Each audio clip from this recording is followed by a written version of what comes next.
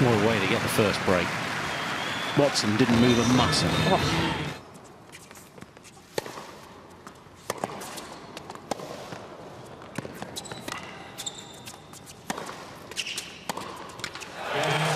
Naomi Osaka gives Japan the lead. It was a powerhouse performance. Heather Watson gave of her all. She had her moments. Osaka just outplayed her.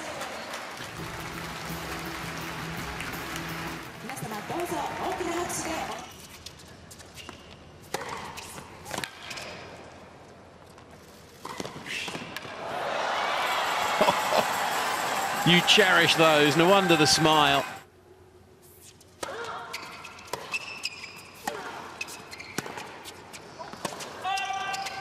Late call, not changed by the chair umpire.